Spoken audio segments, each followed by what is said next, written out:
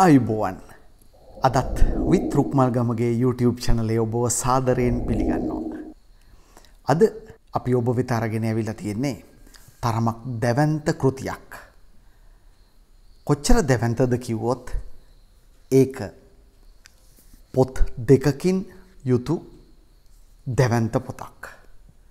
මේ පොත ලිව්වේ කෙන් ෆොලෙට්. පරිවර්තනය කළේ පාලිත ජයකොඩි. පොතේ නම කෙන් ෆොලෙට් ලියපු පොතේ නම The Pillars of the Earth එක සිංහලට පරිවර්තනය වෙන්නේ පොළොව රඳන තැන කියලා. පොත ප්‍රකාශයට පත් කරන්නේ නිවසස් ප්‍රකාශන ආයතනය. අපි බලමු මේ පොත මොන වගේ එකක්ද කියලා. කෙන් ෆොලෙට් ලියපු මේ පොත නම් කරලා තියෙන්නෙම කලසික් මාස්ට පිස් එකක් කියලා. කෙන් ෆොලෙට්ගේ අතීත ක්‍රියාකාරකම් දිහා බැලුවහම ඔහු කලසික් මාස්ට පිස් ලියපු කෙනෙක් නෙවේ කියලා තමයි අපිට දකින්න පුළුවන් වෙන්නේ. ඔහු ත්‍රිල ඇඩවෙන්ච ශානරයේ පොත් ලියපු ලේඛකයෙක්. නමුත් ඕගේ ජීවන මගේ විශාල වෙනසක් සිදු කරන්න අවශ්‍ය වෙලා ඔහු ඒ වෙනස සිදු කරගන්නේ මේ පිලස් of the earth කියන පොත හරහා. කෙන් ෆොලෙට් මොනතරම් ලෝකයේ ජනප්‍රියද කිව්වොත් ඔහුගේ කෘතීන් තිස් හතක් භාෂා හතලියකට පරිවර්තනය වෙලා මේ වෙනකොට මිලියන එකසිය අසු අටක් ලෝපුරා අලවි වෙලා තියෙනවා. අන්න එච්චර ජනප්‍රිය රචකයෙකුගේ පොතක් තමයි අද අපි ඔබට අරගෙන ඇවිල්ලා තියෙන්නේ. මේ පොත අයිති වෙන්නේ හිස්ටොරිකල් ෆික්ෂන් එහෙම නැත්නම් හිස්ටොරිකල් නවල් කියන ශානරයට. ඓතිහාසික සම්බන්ධයක් එක්ක තමයි මේ පොත ගලාගෙන යන්නේ. දොළොස්වන සියවසේදී එංගලන්තයේ සිදුවන සිදුවීම් මාලාවක් මේ පොතෙන් ප්‍රබන්ධයක් හැටියට හෙළිදරව් කරනවා. පොත අතිශය කුතුහලයෙන් පිරි පොතක්. ඒ වගේම අතිශය වේගවත් ගලා යෑමක් තියෙන පොතක්. මා මෑතකදී කියවපු පොත්වලින් වේගවත්ම ගලා යාම තියෙන පොත මේ පොත කිව්වොත් නිවැරදි. ඒ වගේම හරිම අපූරු ආදරණීයත්වයක් රොමෑන්ස් මේ පොතේ දකින්න පුළුවන්. සමහර වෙලාවට 50 Shades of Greyටත් වැඩිය අපූරු ආලිංගන මේ පොතේ ඔබට ඉදිරිපත් කරනවා. මේ කාරණා තුනම ඒ කියන්නේ අතිශය කුතුහලයෙන් පිරි පොතක් ඒ වගේම වේගවත් ගලා යෑමක් තියෙන පොතක් ඒ වගේම රොමෑන්ස් වලින් පිරිච්ච පොතක් හැටියට ඔබට මේ පොත කියවන්න ඉතාමත් පහසු වෙනවා නිසැකයි. අපි බලමු පොතේ කතාව මොන වගේද කියලා. දොළොස්වන සියවසේ එංගලන්තයේ කිංස්පිරිච් කියන ප්‍රදේශයේ පල්ලියක් ඉදිකිරීම ගැන තමයි මේ පොත මූලික තේමාව කරගෙන තියෙන්නේ. ඒ පල්ලියේ ඉන්න ප්‍රධාන පූජකවරයා ශේෂ්ඨාධිපතිතුමා පාද ෆිලිප් ඔහුගේ අවශ්‍යතාවයක් තියෙනවා එංගලන්තයේ තියෙන ලස්සනම පල්ලිය නිර්මාණය කරන්න. හැබැයි ඔහු ඒකෙදි විශාල බාධක ප්‍රමාණයකට මූුණ පානෝ. පළවෙනි එක ඔහුගේ කකුලෙන් අදින්න අති විශාල පිරිසක් ඉන්නෝ. ඔහුට මේ පල්ලිය හදන්න ප්‍රතිපාදන මුදල් හදල් නැහැ. මේ පල්ලිය හදන්න මනුස්සෙක් නෑ. හැබැයි මේ පියතුමා ඔගේ විශේෂත්වය තමයි ඔහු ක්‍රිස්තියානි කතෝලික නිකායක පියතුමෙක් වුණත් දෙවියන් වහන්සේ සියල්ල කරලා දෙයි කියලා බලාගෙන ඉන්නේ නැතුව ඉතාමත් මහන්සියෙන් ඔහුගේ අරමුණට යන්න දරණ උත්සාහය. ඔහු ඔහුට හම්බුවෙන මේසන් භාස්වරයෙක්ව ප්‍රධානයා කරනවා ගොඩනැගිල්ල නිර්මාණය කරද්දි. ඕ අතිශ්‍ය හැලහැප්පීම් වලට මුහුණ දෙන බිෂොප්වරයෙක් රජතුමෙක් සමග එකතු වෙලා ඔවුන් ඉදිරිපත් කරන බාධක මැඩගෙන මේ පල්ලිය නිර්මාණය කිරීමේ උත්සාහයක නිරත වෙලා ඉන්නෝ. මේ පිලිප් පියතුමා වටා මේ පල්ලිය වටා කිංස් ප්‍රිච් පල්ලිය වටා නිර්මාණය වෙන චරිත විශාල ප්‍රමාණයක් මේ පොතේ දකින්න පුළුවන්. ඒ අතර අලියාන වෙරලන් බිගෝඩ් Tom බිල්ඩ Father Philip Jack Jackson Reagan Hamley William Hamley Alfred බිල්ඩ Allan Percy හැම්ලේ Richard වගේ චරිත ප්‍රධානයි. හැබැයි මේ පොතේ මේක ප්‍රබන්ධයක් වුණාට මේ පොතේ සැබෑ චරිත කීපයක් තියෙනවා. ඒ සැබෑ චරිත වෙන්නේ මෝඩ් රජින එංගලන්තේ රජ කරපු රජිනක්. හෙන්රි රජු පළවෙනි හෙන්රි දෙවනි හෙන්රි ස්ටීවන් කියන රජතුමා ඊට අමතරව දැන් උදාහරණයක් ගත්තොත් මෝඩ් කියන්නේ පළවෙනි හෙන්රිගේ දුව. ස්ටීවන් රජ්ජුරුව කියන්නේ පළවෙනි හෙන්රිගේ බෑනා. දෙවනි හෙන්රි ඒ කියන්නේ මෝඩ් රජ්ජනගේ පුතා. බිෂොප් හෙන්රි බිෂොප් හෙන්රි කියන්නේ ස්ටීවන් රජ්ජුරුවන්ගේ සහෝදරයා. ඊළඟට කැන්ටබරිහි ආට් බිෂොප් බෙකට් මේ සියල්ල එංගලන්තේ තිබුණු සැබෑ චරිත.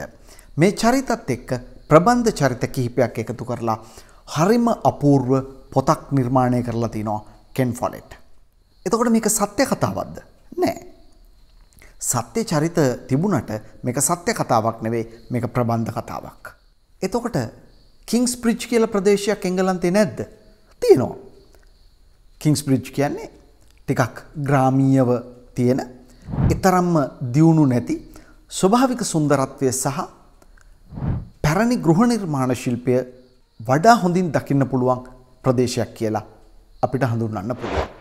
කොහොම වුණත් මේ පොතේ තියෙන විවිධ විෂයන් එක්ක ගත්තහම අපිට දකින්න පුළුවන් විශාලම කතන්දරේ තමයි ගෘහ නිර්මාණ ශිල්පය ආකිටෙක්චර්. විශාල වශයෙන් මේ විෂය පිළිබඳව මේ පොත ඇතුලේ සාකච්ඡා කරනවා. එහෙම වුණාම පාඨකයා හිතන්න පුළුවන් මේ වගේ මාතෘකා කතා කරද්දි කොහොමද මේ පොතේ කුතුහලය පවත්වාගෙන යන්නේ කියලා. ඒක වෙනමම කතාවක්. මං සරල උදාහරණයක් කියන්නම් මේ ගැන.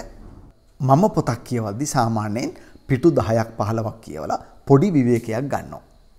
මේ පොත ඒ විදියට කියවගෙන යද්දි සමහර වෙලාවට මම දන්නේම නැතුව පිටු 60ක් 70ක් එක දිගට කියවලා මම වෙලාව බැලුවහම තමයි මට මතක් වෙන්නේ මම මෙච්චර වෙලාවක් එක දිගට කියවලා තියෙනවා කියලා. ඒ තරම් කුතුහලයක් මේ පොතේ දකින්න පුළුවන්. අපි ලංකාව ඉතිහාසය ඉගෙන ගනිද්දී ඒකේ දකින්න පුළුවන් දේවල් තියෙනවා සෑහෙන්න.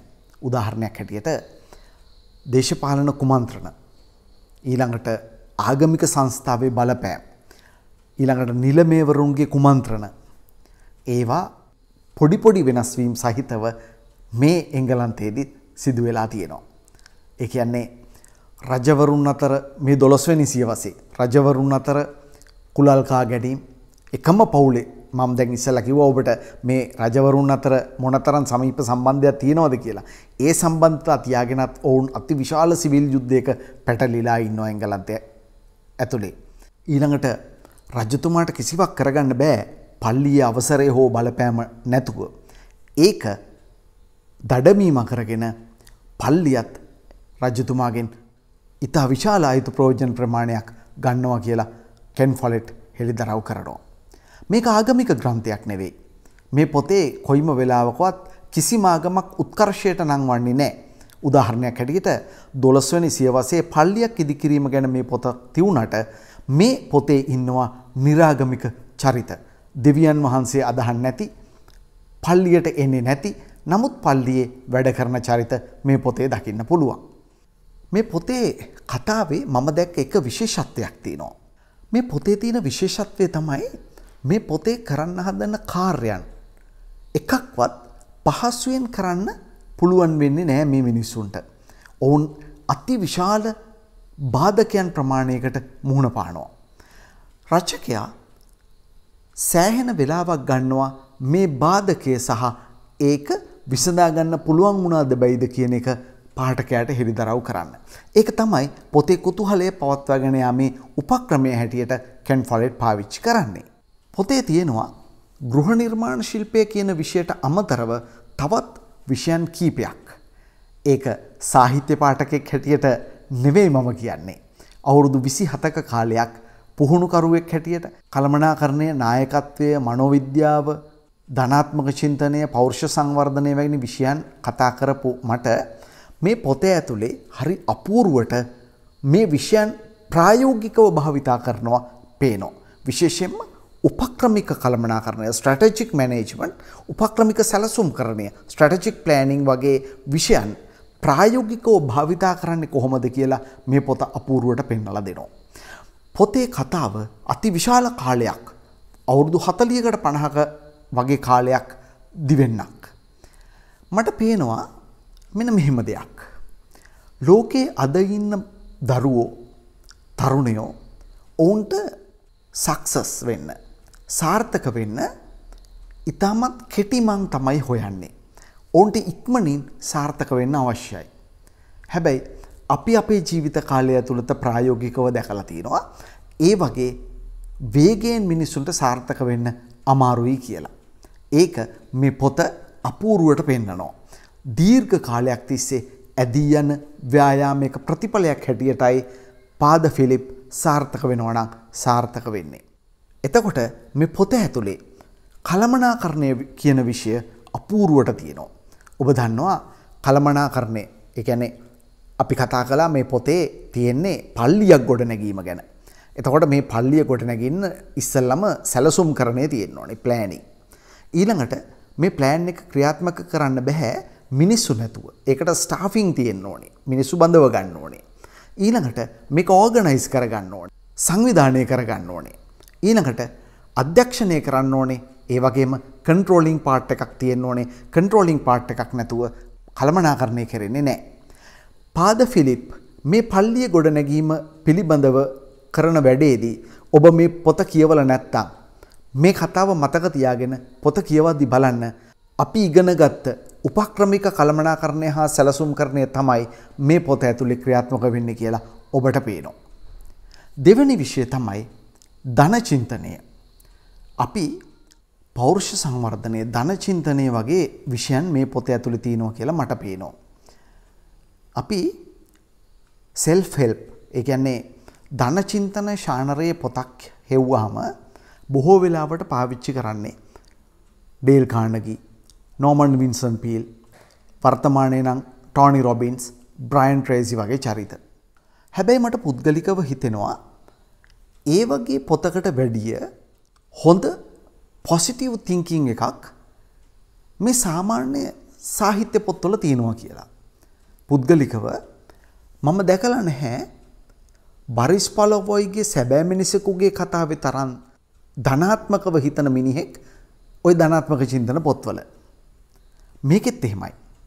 මේ මිනිස්සු කවුරුවත් මොන තරම් බාධක ප්‍රශ්නාවත් රජ්ජුරුවන්ගේ සිට ෂෙරිෆ් වෙනකම් හැම කෙනෙක්ම බාධා කළත් ඔවුන් නෙමෙයි එක අඩියක් පිටිපස්සට ගන්නේ. ඔවුන් නෙමෙයි එක මොහොතක්වත් ඔවුන්ගේ සැලසුමෙන් අරමුණෙන් ඔළුව ඉවත් කරගන්නේ ඇස ඉවත් කරගන්නේ. අන්න ඒ වගේ ධනාත්මක මිනිස්සු ප්‍රමාණයක් කෙන් ෆොලෙට්ගේ පොළොව රඳන තැනෙන් ඔබට හොයාගන්න පුළුවන්. මනෝවිද්‍යාවේ කතා කරනවා සමහර මිනිස්සුන්ට තියෙන ප්‍රශ්නයක්. ඒ තමයි පරපීඩක කාමුකත්වය. හැමතිස්සෙම තමුන්ට පල්ලෙහැ ඉන්න මිනිසුන්ව රිදවල පාගල මර්ධනය කරලා වැඩ කරන මිනිස්සුන්ට තමයි එහෙම කියන්නේ. මේ පොතේ ඔබට හම්බු වෙනවා විලියම් හැම්ලෙ කියලා චරිතයක්. පොත පටන් ගන්න වෙලාවේ අපිට දැනෙන්නේ අහිංසක මනමාලියගෙන් ප්‍රතික්ෂේප වෙච්ච තරුණ පෙම්වතෙක් හැටියට. අපිට අලියාන ගැන ටිකක් නොකැමැත්තකොත් විලියම් හැම්ලී ගැන කැමැත්තකොත් මේ පොතේ කතෘවරයා ඇති කරනවා. හැබැයි පොත චුට්ටක් දුරට යනකොට මේ චරිත දෙකේ ස්වභාවය සම්පූර්ණයෙන්ම උඩු යටිකුරු කරන්න කෙන් ෆොලෙට් සමත් වෙනවා. අලියාන ගැන අපිට අනුකම්පාවකුත් විලියම් හැම්ලි ගැන අතිශය දරුණු කේන්තියකුත් අපිට ඇති වෙනවා මේ පොත නිර්මාණය කරද්දී. කොටින්ම විලියම් හැම්ලේ සාමාන්‍ය මිනිස්සෙක් නෙවෙයි. ඔහුට ප්‍රේම කරන්න බෑ. ඔහුට ආලිංගනෙහි බැඳෙන්න බෑ. කොටින්ම ඔහු විවාහ වෙලා මදු සමය ගත කරන්න ගියත් ඒ මදු සමය ගත කරන්නවත් ඔහුට හැකියාවක් නෑ. එකට හේතුව ඔහුට ඕනේ කාන්තාවගේ බියජනක දෑස් දකින්න. ඔවුන් කෑගහලා අඩනව දකින්න. මොකොද ඔහු අතින් දූෂණයට ලක්වෙච්ච අති විශාල ප්‍රමාණයක් කාන්තාවන්ගේ මූුණු දැකල තමයි ඔහු සතුටට පත්වෙන්නේ. ඔහු දිගින් දිගටම මේ මානසික තත්ත්වය තුළින් පෙළෙනවා. එතකොට මේ වගේ චරිතය අද අපිට මේ ලෝකෙ දකින්න පුළුවන් චරිත. දොළොස්වනි සියවසය කියලා කැන් ෆොලෙට් නිර්මාණය කරාට මේ වගේ චරිත ඒ කියන්නේ තමන්ට ඉහලට යන්න පුළුවන්නම් ඕන වෙලාවක තමුන්ගේ දේශපාලන පිල් මාරු කරන මිනිස්සු දොළොස්වනි සියවසෙත් ඉඳලා තියෙනවා දැනුත් ඉන්නවා. ඒ වගේම තමයි කිසිම දවසක දේශපාලන අතකොළුවක් වෙන්නේ නැතුව තමුන්ගේ අරමුණ දෙවියන් වහන්සේ සහ කරුණාව පෙරදැරි කරගෙන යන ආගමික නායකයොත් ඉන්නවා. අන්න ඒ වගේ චරිත නිර්මාණය කිරීමක් මේ පොතේ දකින්න පුළුවන්. ඇත්තමයි මේ පොතේ චරිත නිර්මාණය කැරක්ට බිල්ඩිං කියන එක ආදුනික කතුවරුන් ඉගෙන ගන්න තරමට ලියලා තියෙනවයි කියලයි මට හිතෙන්නේ. මේ පොතේ පසු පිටේ මෙන්න මෙහෙම සඳහනක් තියෙනවා. ඒ වනාහි දොළොස්වැනි සතවර්ෂයේ කිංස් ප්‍රිච් නගරයේ දේවස්ථානයක් ඉදිකිරීමේ කතාවයි. එසේ වුවද The Pillars of the Earth යනු හුදෙක්ම නවකතාවක් පමණක් නොවේ. එය ඓතිහාසික දිගහැරුමකි. මධ්‍යතන යුගයේ දේශපාලන බල අරගලයක සංකීර්ණ පැතිකඩකි. විෂම මානසික හැඟීම් මිනිස් සම්බන්ධතා ගැන ගැඹුරින් ලියවුණු ගද්‍ය කාව්‍යයකි. දෑතේ රඳවා ගන්නට අපහසු තරම් විශාල වුවද එය පාඨකයාගේ මනස දැනුමින් නේක රසයෙන් ආදරයෙන් පුරවන විශිෂ්ට නිර්මාණයකි. ලේඛකයෙකුගේ සීමා නොපෙනෙන පරිකල්පන ශක්තිය චරිත සිද්ධි ගොඩනැගීමේ අද්විතීය හැකියාව ලොවට කියා දුන් සාහිත්‍ය නිධානයකි. මියෙන්නට පෙර කියවී යුතුම පොත් අතර The Pillars of the Earth ඉහලින් මැත්තේ ඒ නිසාය. ලිව්වේ කෙනත් මාටින් ෆොලෙට්. අපි හඳුරන්නේ කෙන් ෆොලෙට් කියලා. එක්දසම්සි හතලිස් ගණන්ගොල ඉපදිලා තවමත් ජීවතුන් අතර ඉන්න කෙන් ෆොලෙට් කෘතින් තිස් ගණනක් රචනා කරපු මිලියන එකසි අසුවටක් පොත් ලෝකෙ පුරා විකුණපු අතිසාර්ථක රචකයෙක්.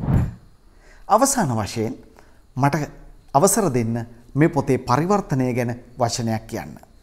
පොත පරිවර්තනය කළේ පාලිත ජයකොඩි. ශ්‍රී ලාංකික පරිවර්තන කියවන පාඨකයාට ඒක අලුත් නමක් නෙමෙයි. නමුත් පාලිතගේ මේ ව්‍යායාමය අද්විතීයයි. එය ඇගේවුමට ලක්විය යුතුමයි. පිටු එක්දාස් හාරසිය විසි එකකින් සමන්විත මේ සිංහල පරිවර්තනය සැබැවින්ම ඉතාමත් හොඳ නිර්මාණයක්. මේ පොත නිර්මාණය කිරීම වෙනුවෙන් කෙන් ෆොලෙට්ටත් පරිවර්තනය කිරීම වෙනුවෙන් පාලිත ජයකොඩිටත් ප්‍රකාශයට පත් කිරීම වෙනුවෙන් මියසස් ප්‍රකාශන ආයතනයටත් පාඨකයාගේ ස්තුතිය පිරි නමන්න අවශ්‍යයි. හොයාගෙන කියවන්න වටින පොතක්. කෙන් ෆොලෙඩ්ගේ Pillars of the Earth Sinhala පරිවර්තනය පොළොව රඳන තැන. පොත් දෙකක් පිටු එක්දස් හාරසිය විසි එකක කලසික් මාස්ටපීස එකක්. අරගෙන හොයාගෙන කියවන්න. නැවත දවසක විත්රුක්මල් ගමගේ YouTube චැනලය ඔබට මේ වගේ විශිෂ්ට පොතක් අරගෙනෙනවා. එතකං ඔබට කරන්න යුතුකමක් තියෙනවා. ඒ තමයි මේ වීඩියෝ එක ෂයා කරන්න ලයි කරන්න කමෙන්ට් කරන්න. එතකොට සාහිත්‍යය හඳුනන මිනිස්සු ගාවට මේ වීඩියෝ එක ගමන් කරනවා ඇති. ඒක ඔබ සාහිත්‍යයට සිදු කරන සේවාවලින් එකක් වෙනවා. කරුණා කරලා සබස්ක්‍රයිබ් කරලා බෙල් අයිකන එකක් කලික් කරලා යන්න. නැවත දවසක හමුයමු. ඔබ සැමට giant.